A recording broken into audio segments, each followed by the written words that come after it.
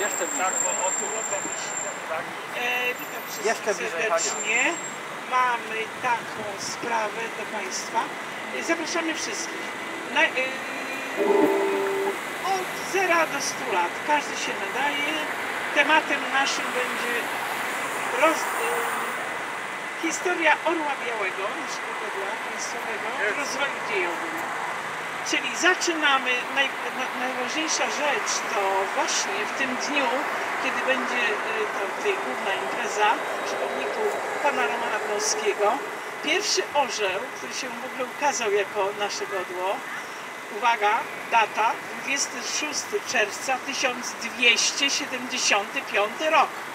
To będzie szybciutko, kalkulatory do ręki liczymy. 700, która tam rocznica wypada? 46 rocznica naszego godła. To jest bardzo ważna data, tak się ładnie składa. 26 czerwca 1275 rok, Przemysł, król Przemysł II. Wtedy jak się koronował, to właśnie to godło biało-czerwone, biały orzeł na czerwonym polu pojawił się jako pieczęć majestatyczna, e, majestatowa, tak, szata królewski się pojawił, e, cały dwór nosił tego orła, no i tam dalej. Potem już ten orzeł przychodził różne przeobrażenia. I mamy e, do zrobienia 24 orły, bo tak to leci. Od 1275 roku do dziś mamy. E, Zebraliśmy e, historycznie ułożone te orły są i zapraszamy wszystkich. Będzie to technika wytłaczania w miękkiej blaszce aluminiowej. Przy okazji nauki tej nowej techniki podejmujemy taki właśnie historyczny te e, temat i zapraszamy wszystkich Państwa chętnych, niekoniecznie dzieci, do dorosłych, młodzież, kto ma ochotę. Możecie sobie zrobić całą kolekcję 24 orłów. E, Zapraszamy w sobotę, w dniu wymarszu e, nasz, naszego, e, na- naszego marszu Dmowski na zamek od godziny 12 do 14.30, a w niedzielę już dłużej, już będzie staranniejsza praca przy tych orłach naszych. Zapraszamy od godziny 12 do 17. To tyle. Dziękuję bardzo i zapraszam. Dziękujemy, brawo Pani Haniu. Brawo dla tej pani. Nagadała się. Brawo, brawo za inicjatywę, bo potrzebni są ludzie, którzy będą pokazywać, y, animować towarzystwo, któremu się nic nie chce. Ktoś musi coś organizować, coś robić.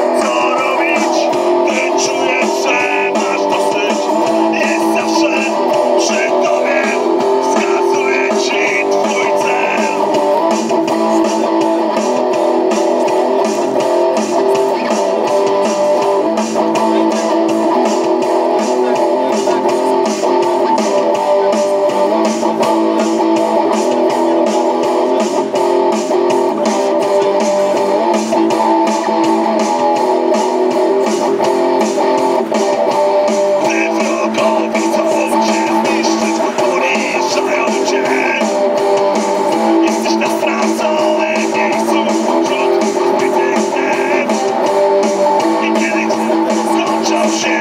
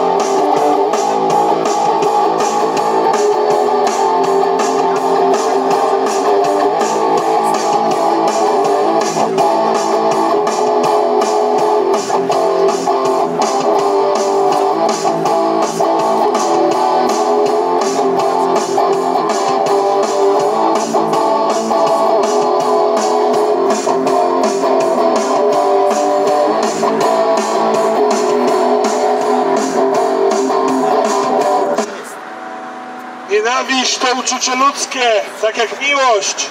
Roman Dmowski mówił, kto nie umie nienawidzić, nienawidzieć, ten nie umie kochać.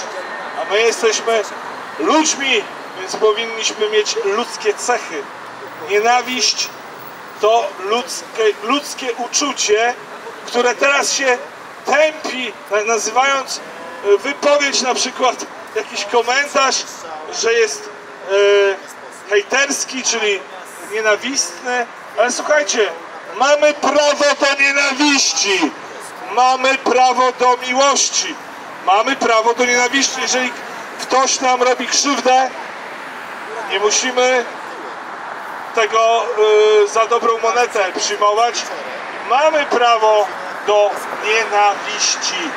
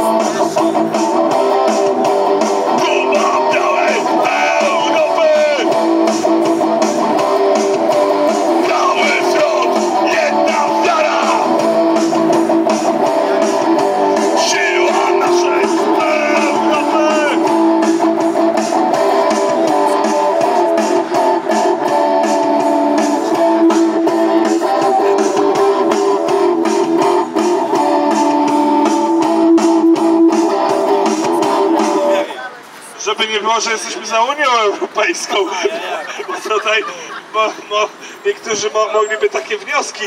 Y, y, my jesteśmy przeciwko Unii Europejskiej. Chcemy, żeby cała Europa rządziła się każde państwo według własnych zasad. Zapraszam pana na tą wykładzik, tak? Brawo, brawo, bravissimo! Cześć. Ja może nie jestem za Unią Europejską jako taką. Ja jestem za Unią Europejską, gdzie dominujący głos ma Polska. Hania, o której jutro będziesz? Myśmy już byli kiedyś taką Unią Europejską w ramach Unii Polsko-Litewskiej i ja nie widzę powodu, żeby taka Unia dalej była. Jak zrobimy silne Trójmiędzymorze i będziemy w środku Europy Widziałeś tą skupiać parkę, wokół siebie z jako silna Polska inne mniejsze kraje, to nie widzę żadnego powodu, żeby reszta Europy pod nasze dyktando działała. Teraz działa pod dyktando Niemiec i to mi się nie podoba. Ale jeżeli cała Unia Europejska działałaby pod dyktando Polski, dlaczego nie? Jestem polskim nacjonalistą i uważam, że Polska powinna decydować o losach Europy, a nie Niemcy. Dziękuję. Chwała Wielkiej Polskiej Unii Europejskiej. że Polska. Pamiętajcie, że Polska jest spadkobierczynią Wielkiej Lechii, która to była tą taką Unią Europejską na północy, na północy graniczyliśmy jedynie z Cesarstwem Rzymskim. By, byliśmy my i był Rzym. I ja tutaj chciałem jeszcze podkreślić jedną rzecz, że powinniśmy jako spadkobiercy tej tradycji odebrać tereny Słowian połapskich, a połapscy nazywali się z tego powodu, że ich terytorium sięgało aż do Łapy. Tak, I tyle. Nie ma o tym nazwy miejscowości o tym świadczą. Nic nie będziemy odbierać, po prostu przyłączymy je. Sami Oni sami się do nas przyłączą. Bo my jesteśmy atrakcyjnym partnerem. U nas nie ma przymusu, przynajmniej nie powinno być przymusu, szczepień, w ogóle żadnego przymusu. Każdy niech rządzi się według własnych reguł i nie krzywdzi drugiej osoby. A propos tego przymusu, tego o czym powiedziałeś, czego ja nie będę powtarzał, to y, tak się dużo mówiło o tym, że to ta zachodnia Europa chce nas zmusić do jakichś certyfikatów, że to Unia Europejska chce nas zmusić, a tam gdzieś tam na wschodzie jest taka wolność i tam się nikt nie przejmuje tym C19. E, Nie wiem, czy Państwo sobie zdajecie sprawę z tego, że e, duży sąsiad e, wschodni, czyli Rosja putinowska, w tej chwili weszła w pełną fazę przymusu tego, o czym wspomniałeś. W tej chwili w Rosji ktoś, kto nie podda się procedurze certyfikowanego przyjęcia preparatu medycznego mającego Sputnik, tak jest. Ktoś, kto nie przyjmie Sputnika, nie będzie mógł pójść do restauracji, nie będzie mógł korzystać ze służby zdrowia, nie będzie mógł być poddany operacji planowej. Po prostu tam będzie pełna kontrola wakcynologiczna pod względem Sputnika. Nie wziąłeś Sputnika, jesteś człowiekiem drugiej kategorii. Zastanawiam się, jak chwalcy Putina, dobrego Batiuszki, którzy nie lubią wakcynologii, do tego podejdą. A w Polsce póki co jeszcze przymus jest tylko i wyłącznie definiowany jako być może konieczność przez pewnych profesorów medycyny, którym chyba ktoś za dużo zapłacił. Myślę, że na ten temat warto byłoby porozmawiać z Maciejem Porębą, który imię e, Putina odbawia przez wszelkie przypadki. Ciekawa byłaby to rozmowa, tylko że niestety Maciej Poręba nie lubi, jak ktoś zabiera głos, bo wtedy mówi, że przeszkadza mu.